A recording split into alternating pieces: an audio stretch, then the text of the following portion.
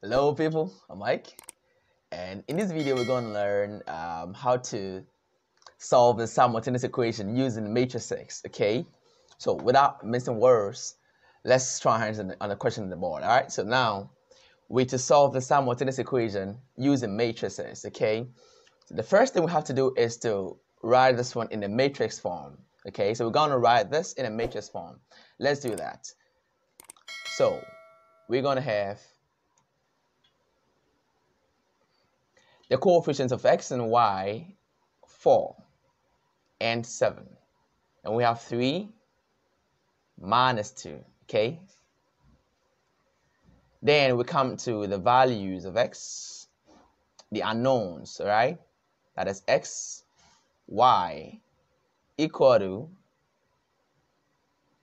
we have here to be 13 here to be minus 12 all right so now we can say that this is A, this is X, and this is B. So if I'm going to use an equation here, it's going to be AX equals to B. Now what we're looking for is the X, okay? So we can make the X the subject. Now we'll make X the subject. We're going to have here to be the inverse of A, okay, times B. You got it. So the inverse of A times b. So the next thing we have to do is to find the inverse of a and multiply that one by the values of b to get our x. All right, so that is it. This is matrix and it's very simple to solve, you know, this kind of matrix. You understand? So the first thing we have to do, we're going to find the inverse of a. And that one is giving us 1 over the determinant, okay? So 1 over the um, determinant, all right? So let me put like this. So 1 over the determinant of A, all right?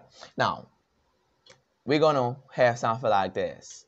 1 over, so the determinant of A is going to be 4 times negative 2, which is negative 8, all right? So negative 8 and minus, so negative 8 minus 3 times 7, which is 21, okay? So that's it times uh, A. Now, we have to um, swap the, the positions of the, the 4 and the negative 2. So we'll bring the negative 2 here, and we'll take the 4 to the side. Then we'll negate the 7 and the 3. So here is going to be negative 3, negative 7. Alright? Yeah, times the B. So the B is still the same, 13 minus 12. Right? So now we're going to multiply this one by that. You know, this one is 1 over, that is negative 29, yeah? Great. Now, I can decide to multiply everything by it, but then I don't want to do that because it's going to be a little bit complicated. So I'm going to multiply this one, okay? And after that, I'll multiply this one by that. You see? So let's do it. Now, this one will give us 1 over minus 29, okay? Yeah. Now let's multiply. Negative 2 times 13 is going to be negative 26. Then negative 7 times negative 12 is going to be 84. All right? Then negative 3 times 13 is going to be negative 39. Then 4 times negative 12 is going to be negative 48 all right? So now we simplifying everything. We just have to do the simple addition and subtraction. So negative 12 plus 84, all right? Negative 12 plus 84. Negative 12 plus 84, what you having? We're going to have um, 58, yeah? So 58. And then negative 39 minus 48 when we put them together, we're going to have minus 87. So minus 87.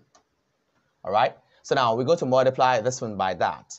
We have 1 over negative 29 times 58 negative 87. All right. So now this one times that. You multiply this one times that. we're going to be left with negative 2 and then this one times that we'll be left with 3 okay? You see so therefore our x our x which is x and y is equal to negative 2 and 3 are you there? That's it.